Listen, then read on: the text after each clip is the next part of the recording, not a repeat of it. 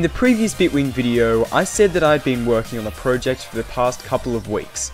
In a way, this was a lie, as development on the Bitwing actually started back in late 2018, a little before 1.14 was released. After a number of failed attempts at making computers, and some builds I didn't really consider a computer, I just decided that I wanted to make something compact and functional, even if it's just more of an underpowered calculator than a computer. This is why the world is created on a normal grass super flat world, and not a void world or an iron block super flat like some of my other computer worlds. So I started to build the computer. I put in the basic section of the ALU, RAM and input panel. This footage on screen now is a video I was going to upload to the second channel, but decided against for whatever reason. I went and looked back at some of my old worlds and found it, and I didn't actually remember how to use the input panel completely. Weirdly enough, this really inspired me to finish it. Flicking switches, trying to figure out what they all do in my own system, made me realise that this was well on its way to becoming a computer, and probably the furthest I've ever come to creating one. So I started work on turning this thing into an actual computer.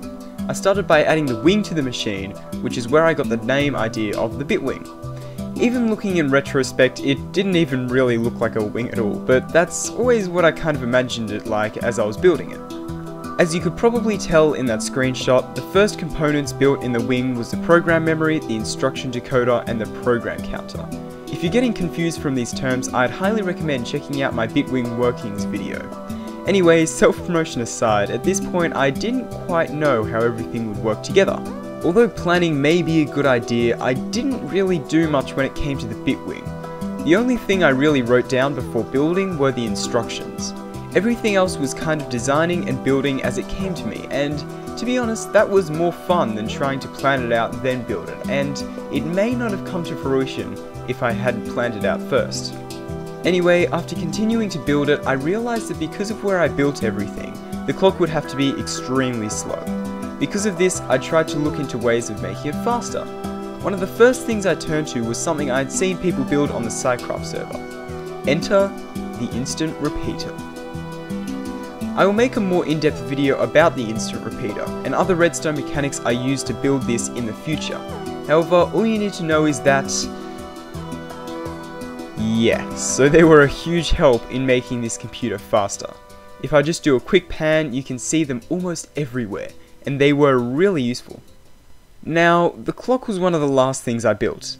If I had taken more care with the timings, I probably could have made it faster, but I wasn't prepared to spend hours and hours trying to perfect the computer if it was going to be super underpowered anyway. If anyone else wants to download the world and try, feel free to do so. As I said in the previous video, the hardest thing for me to build was the wing. Because I had never really done it before, trying to work out how to get everything accessible to it was a real challenge, and you can probably tell from some of the redstone. The main reason I had trouble, however, is because I didn't really know what I was doing. I was mostly just trying to figure it out for myself.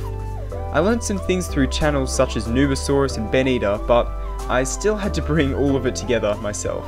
Because of this, building the Bitwing was a huge challenge and a massive learning experience, but it really paid off and has changed the whole landscape of my YouTube channel.